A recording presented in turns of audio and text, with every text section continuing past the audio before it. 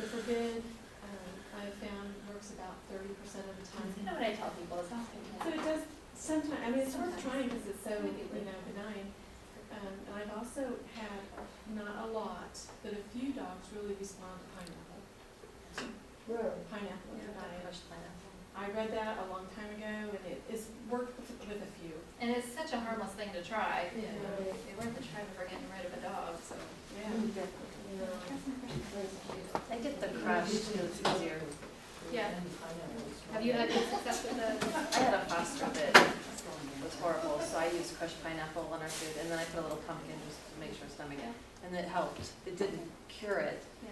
but it, There's something to at least help them, you know, Well, they, they can they've help. got a two-year-old, and the two-year-olds around the house, you know, they're at that stage where they probably shouldn't have gotten the puppy, you know, but uh, now that they've got it, I have another suggestion. I don't know. I've never. throw them tried on, yeah.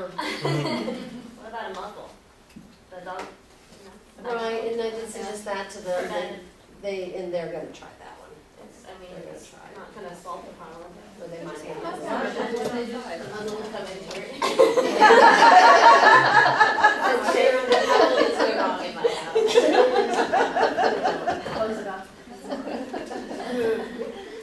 thank you all so much for this opportunity, and uh, you know, um, I brought some cards, and I guess I forgot to step them out, but um, I'll step some cards up here, and take one, and let me know if you have any questions. I think I was going to stick around for a little while. That's awesome. Yes, we have some room. Thank you.